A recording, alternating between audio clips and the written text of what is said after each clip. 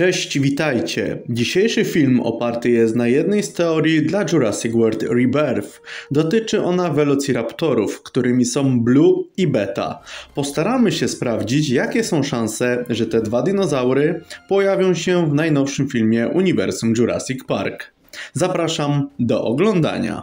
Blue to samica Velociraptora, której każdemu, kto interesuje się serią Jurassic World, przedstawiać nie trzeba. Ale tak pokrótce, Blue została sklonowana w 2012 roku w ramach programu badawczego, który znamy pod nazwą Projekt Ibris. Samica pojawia się w trzech filmach i jest, można powiedzieć, twarzą Jurassic World ale to nie oznacza, że pojawi się w kolejnych produkcjach. W jej przypadku, podobnie jak z Rexy, problemem może być wiek. Blue w czasie kiedy dziać się będzie Rebirth miałaby 15 lat, a to dość sporo, jeśli spojrzymy na rozwój fizyczny Velociraptorów w Parku Jurajskim. Kiedy to po 9 miesiącach są już w pełni dojrzałymi drapieżnikami. Blue, mimo swojej wyjątkowości, najlepsze lata ma już za sobą, ale z kolei Beta to już zupełnie coś innego. Jak doskonale wiemy, Beta jest córką Blue, a przy okazji jej lustrzanym odbiciem.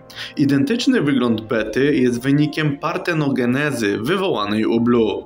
I to może być kluczowa kwestia pozwalająca na pojawienie się Bety w Rebirth. Beta w najnowszym filmie miałaby dopiero 5 lat, a fabuła odrodzenia będzie opierać się na poszukiwaniu DNA dinozaurów potrzebnego do opracowania jakiegoś leku. Co jeśli beta może być jednym ze stworzeń umożliwiającym pozytywne zakończenie tej misji?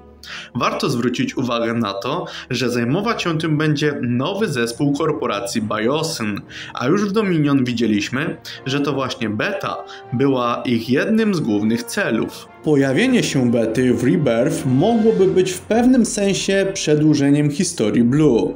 Naprawdę ciężko jest mi uwierzyć, że te dinozaury zostaną tak po prostu zostawione na etapie Dominion, bez jakiegokolwiek pociągnięcia bądź zakończenia ich historii w serii Jurassic World.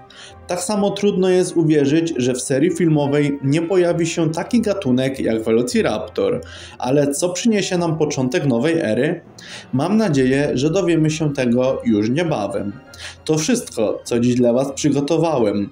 Dziękuję za oglądanie i do usłyszenia już wkrótce. Cześć!